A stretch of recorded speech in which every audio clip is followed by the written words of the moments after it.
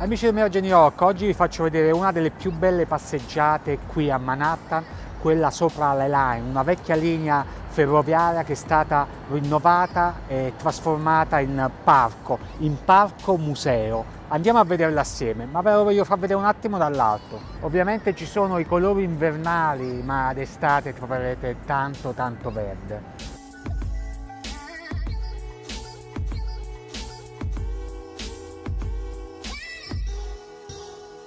Pochi lo sanno ma questa camminata è un museo a cielo aperto, ci sono tantissime opere di arte contemporanea e la curatrice è l'italiana Cecilia Alemanni che adesso è la direttrice della Biennale di Venezia, un piccolo momento di orgoglio italiano. Osservate le rotaie della vecchia linea ferroviaria, qui praticamente i treni partivano, c'era il distretto dell'impacchettamento della carne, si caricavano i treni e andavano verso nord.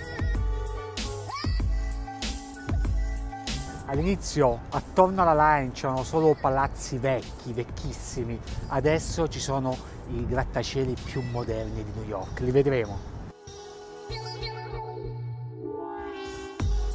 La Line passa sopra Chelsea dove ci sono le più famose gallerie d'arte di New York, tra cui la Gocia, bisogna visitarla assolutamente.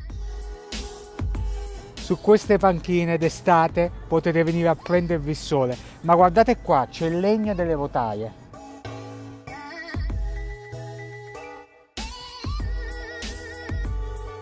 Manhattan è piena di questi piccoli ponti che collegano gli edifici tra loro. Qui sono su un piccolo palco dove sedersi e osservare la Avenue. Guardate come continuamente costruiscono nuovi grattacieli, sempre al lavoro.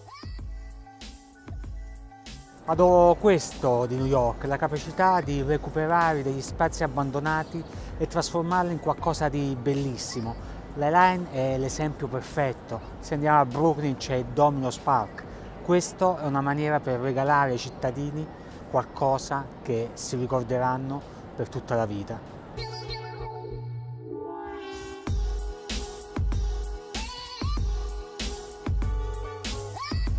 Ogni stagione dell'anno la line ha colori differenti, ma sicuramente d'estate quando c'è il flusso maggiore di turisti e vedrete tanti modelli e modelle farsi le foto in questa cornice meravigliosa.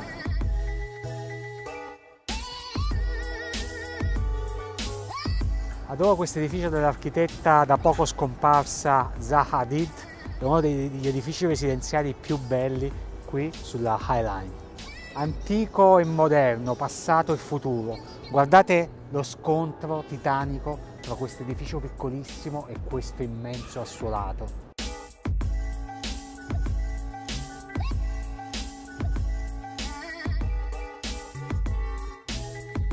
E alla fine della line si arriva proprio qua, a Hudson Yard, e davanti a noi abbiamo il vascello, The Vessel. Mi sono sempre chiesto quale sia il percorso più bello di New York, se la line o fare il ponte di Brooklyn. Ancora adesso non saprei scegliere, ma per un viaggio perfetto è bene farli tutti e due.